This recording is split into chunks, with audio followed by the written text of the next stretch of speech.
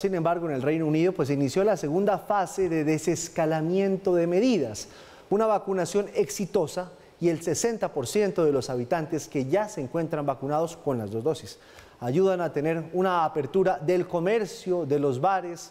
El Reino Unido está respirando mejor y el Premier cumplió con su promesa de ir a un bar. Ciudadanos ingleses vivieron un lunes atípico por más de tres meses esperando la reapertura comercial por fin se abrieron bares, restaurantes y tiendas no esenciales.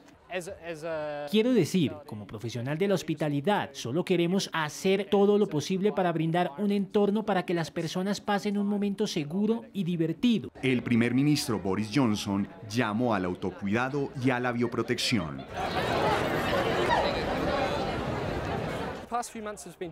Los últimos meses han sido difíciles. Ha sido útil tener una hoja de ruta que esperamos que el gobierno cumpla. Ahora es el momento de dejar que nuestro personal y los huéspedes se diviertan.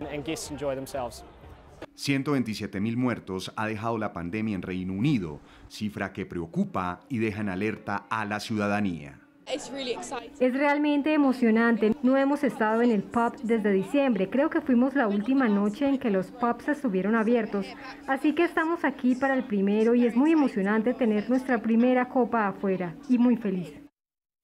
Inglaterra continuará implementando políticas que permitan reactivar la economía y así ganarle la batalla al coronavirus.